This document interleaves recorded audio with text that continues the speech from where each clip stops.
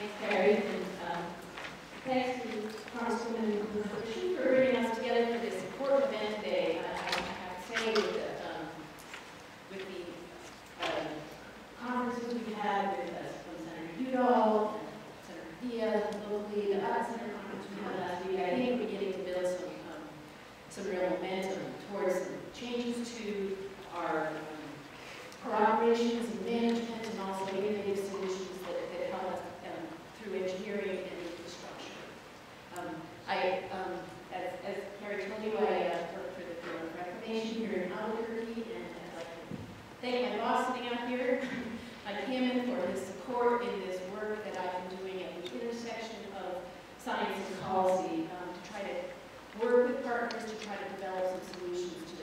power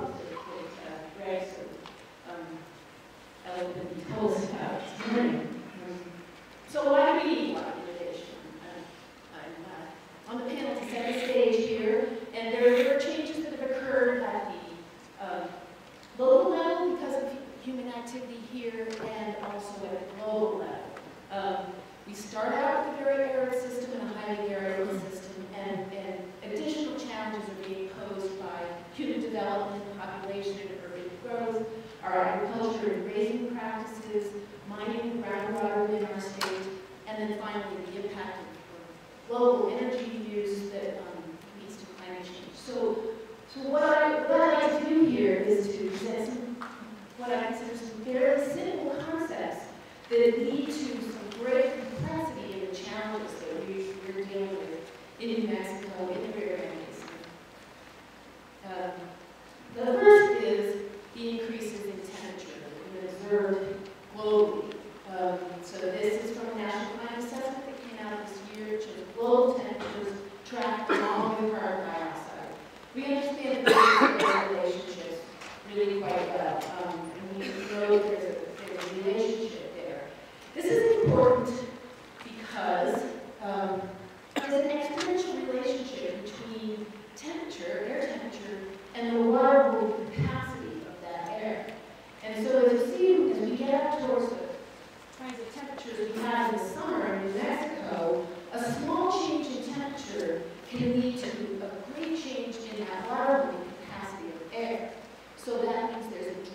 take water from its liquid state into the, into the air, and that's how we consume water. That's what water consumption is.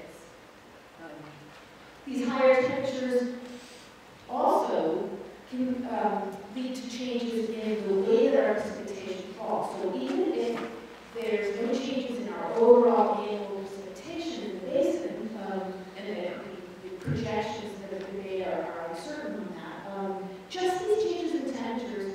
will lead to significant decreases in the amount of snowpack that we're able to maintain in, in our upland forests and our mountain ranges. Um, this slide from the 2011 report to Congress of the Recreation Ministry was by Congress assessment of Menlo, and it shows comparison of the 2070s to the 1990s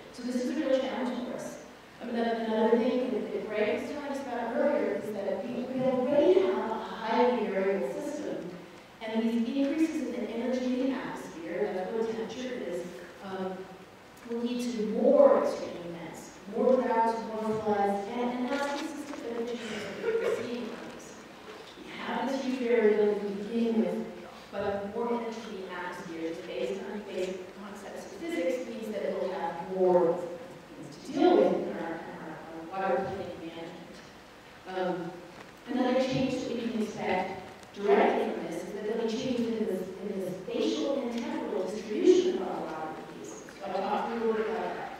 Changes go back. Um, so what we see here is the runoff at Q, and, and it will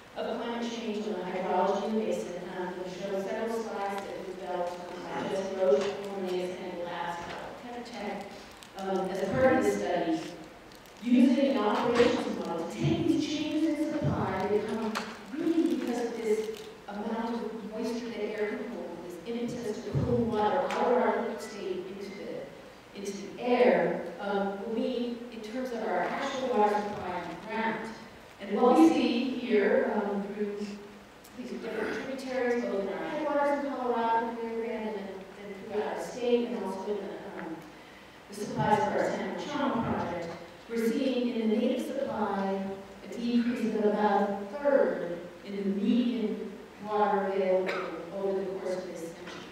So that's a major challenge for us, and I think that some of the, um, the engineering solutions that are being discussed in, in the conference today address this, um, this shortage. And then some of the management solutions that we'll hear about in how to variability. Um, one thing of interest here is that the, the projected changes to the water that will, that supplies our San Juan-Chama project, our Mission San Juan-Chama project, here's water from the Colorado Basin, um, those changes are expected to be a bit smaller, maybe 15 to 20 percent over the course of the century. So again, this is an opportunity for us because we that supplies a little bit more reliable. But it's also management challenge because it changes the dynamics between the senior water rights holders, the native supply, and those who have rights or contracts. Um, So we have that decrease in supply coming into our basin, um, and this, this principle that I talked about where more of our liquid water goes into the atmosphere, both the operation and the water used by plants, increases the demand for that lower water supply.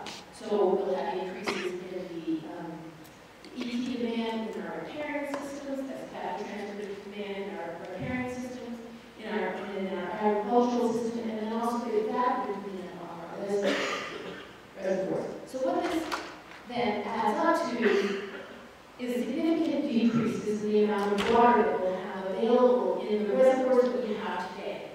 Um, so what we need to start talking about is how we might modify our infrastructure to take better advantage of what we have. Um, also, if we look at that existing infrastructure, we, we're going to have to start talking about trade-offs. Um, so our reservoirs are designed to take advantage of small runoff, talked about that earlier. Um, but we also had an increasing, extreme increase in variability projected, as Greg's talked about. And so when we have a big event, it would be tempting to fill up our reservoirs. But in addition to that, we might, we, we're going to need additional flow storage capacity because there's nothing to stop large events from happening one on top of another. So um, these are additional challenges that, that it's, a, it's great to have a team like this to start addressing. Um, another thing is that the, the summertime monsoons, there's, there's, there's a lot of information um, suggesting that, although it's not confirmed, that there might be strengthening of the summer monsoons because of the increase in temperature, or temperature phenomenon. Um, Dave Gutzler back here has done a lot of research in that area. If, if we're in that situation, this is another opportunity and also a challenge for us in our water management to figure out how best to take advantage of that water. There's ways that we can temporarily store it within our system to take advantage of it rather than all run out of the river and not available to us.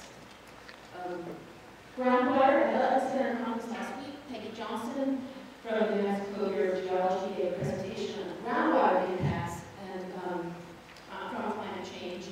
And there's a cascade of impacts that varies for surface water with increases in soil water content and infiltration rates and overall changes in, in groundwater recharge projected. Uh, those are the direct impacts, but the indirect secondary impacts are the ones that project to be larger. And then there's a greater reliance on our groundwater resources when our surface water supply is less available. Um, then another thing that takes these simple concepts and makes them much more complex and a greater challenge for us to deal with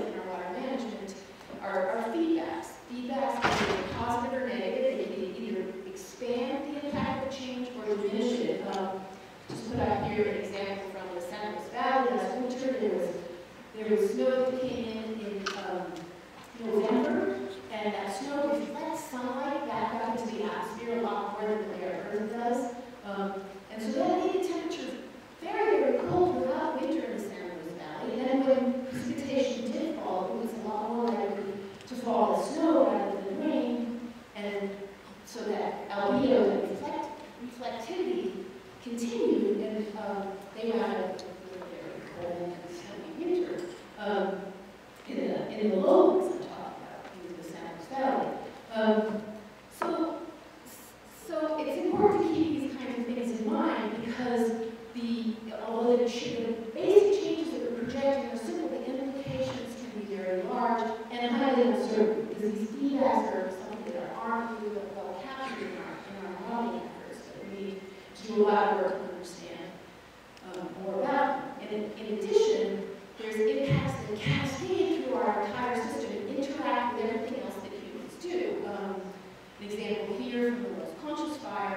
There is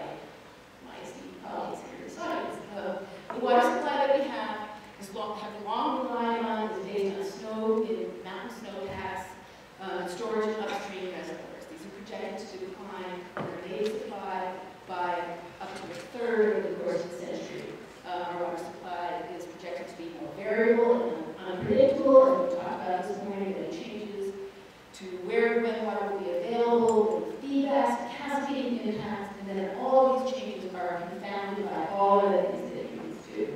Um, one final point is that uh, at reclamation, we're, um, I, I represent this basis study program offers the Secure Water Act of 2009, and um, we're interested in partnering with water managers in the community